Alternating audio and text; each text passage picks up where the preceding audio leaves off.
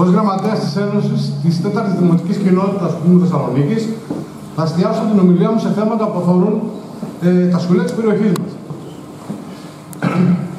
τα, σχολεία τα σχολεία που λειτουργούν στην περιοχή μας δεν επαρκούν για να στεγάσουν τον αυξημένο αριθμό των μαθητών.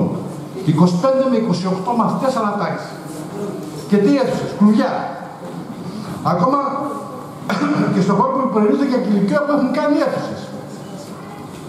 Άλλο ένα μεγάλος ζήτημα στα περισσότερα σχολεία είναι χτισμένα πριν από το σημείο του 1978. Η συντήρησή τους είναι από ανεπαρκή έως ανύπαρκτη.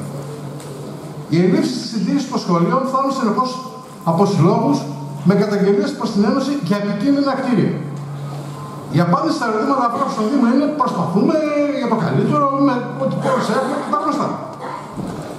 Μέσα σε όλα αυτά όμως, όπως προείπαν και οι συντροφοί, να προσθέσουμε την έλλειψη τακτικής μελέτης των σχολείων που σε περίπτωση σεισμού δεν ξέρουμε πώς θα αντιδράσουν. Επιστήμονε στο Απιθύτα, γονείς εκπαιδευτικοί έχουν κρίσει το κούμενο του κινδύνου, αλλά φωνή που όντω αντιερήμουν. Και να μην ξεχάσουμε τα είδη καθαριότητας κλπ. Χαρτί υγιεινής, αντισηπτικά, ήδη απαραίτητα για τη λειτουργία ενός σχολείου και γίνεται μάχη για αυτά τα σχολεία και την απόκτηση και τις περισσότερες φορές τα αποτελέσματα είναι μηδενικά.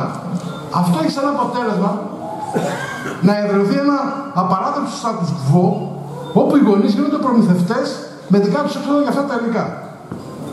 Βασική μας αρχή ως γονεϊκό κίνημα είναι ούτε ένα ευρώ από την τσέπη των γονέων για τη συντήρηση και τη λειτουργία των λειτουργικά έξοδα των σχολείων.